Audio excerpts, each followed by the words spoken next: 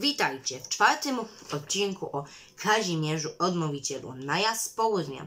Książę czeski w 1039 roku napadł na Polskę i nie napotkawszy większego oporu zajął i złupił Gniezno, Poznań, Ostów, Letnicki i Gierz. Najważniejsze ośrodki władzy.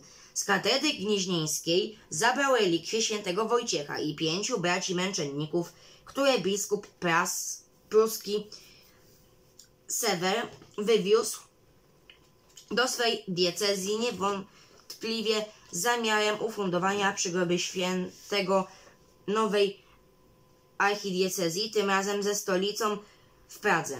Brzetysław nie omieszał też ukraść bogatego wyposażenia kościelnego ufundowanego przez Bolesława Chrobrego oraz wszystkiego, co przedstawiało jakąkolwiek wartość. Najeźdźcy dokonali metodycznej grabieży. Należy więc wątpić w autentyczność relikwii świętego Wojciecha przechowywanych dziś w sarkofagu w katedrze gnieźnieńskiej.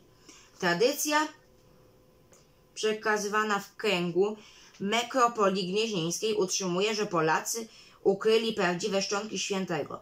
Istnieje też hipoteza kompromisowa, że Czesi nie zabrali tej ich części, która była wmurowana w ołtarz. Obyczaj średniowieczny pozwalał dzielić relikwie świętych na wiele części, prawo kościelne zaś wymagało obecności relikwii.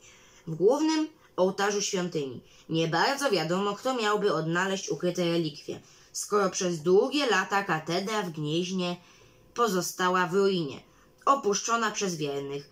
Po najeździe Brzetysława państwo Chrobrego rozpadło się doszczętnie. Śląsk został włączony do Czech, i ten sam los spotkał Małopolskę. Pomorzanie już wcześniej wybrali niepodległość, a na Mazowszu władał silną ręką Mieczysław dążący do stworzenia nowej dynastii. Wielkopolska zaś główny ośrodek państwowy została kompletnie zrujnowana i pogrążona w armii.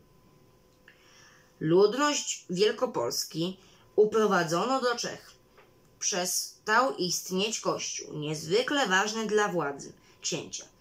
Z tej beznadziejnej sytuacji książę Kazimierz dźwignął państwo polskie dzięki pomocy dwóch potężnych władców cesarza niemieckiego, wielkiego księcia kijowskiego.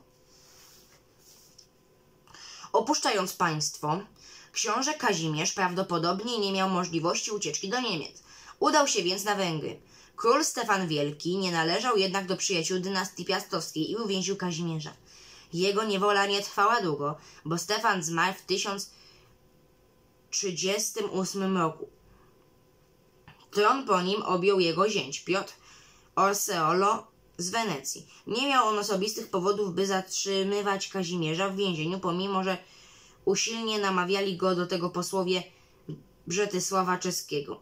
Według Gala król węgierski miał odrzec dumnie, iż uczyni to jeśli pokażą mu prawo, które króla węgierskiego czyni strażnikiem więziennym u księcia czeskiego.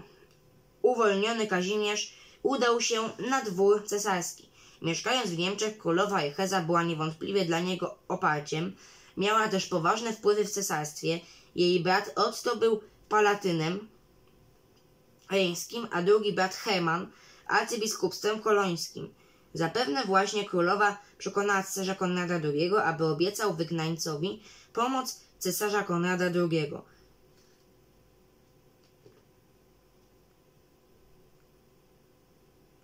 Aby obiecał wygnańcowi pomoc w odzyskaniu tronu, choć udzielił mu jej już jego następca Henryk III.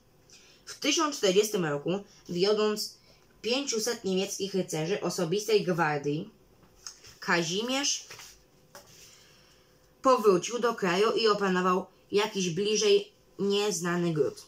Poddani zatęsknieni, zatęsknili, zatęsknili już za władzą gwarantującą porządek w kraju, więc księciu szybko udało się opanować Wielkopolskę i Małopolskę.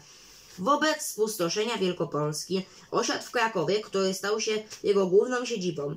Już w 1040 roku, korzystając z pomocy niemieckiej, podjął próbę odzyskania Śląska. Brzetysław odparł jego wojska, uznał jednak potrzebę pojednania z cesarzem. W W 1041 roku książę czeski ukorzył się przed Henrykiem III, złożył mu hołd i zapłacił trybut ze Śląska, dzięki czemu zachował swe panowanie nad, nad nim. Henryk III miał rozstrzygnąć spory między Kazimierzem a Brzetysławem na zjeździe w Goslarze, zwołanym na następny rok. Polski książę jednak stał się jednak się nie stawił, gdyż był zajęty podbojem Mazowsza. W 1039 rok Kazimierz Odnowiciel powrócił do kraju z drużyną 500 rycerzy zwerbowaną w Niemczech dzięki pomocy matki Rychezy króla Niemiec. Henryka III zaniepokojonego wzmocnieniem czeskiego lennika Brzetysława. Opanował Wielkopolskę i Małopolskę. Wskutek zniszczenia Gniezna stolicą uczynił Kraków. Kazimierz zawarł sojusz z księciem kijowskim Jarosławem, umocniony małżeństwem z siostrą Jarosława Dobroniego.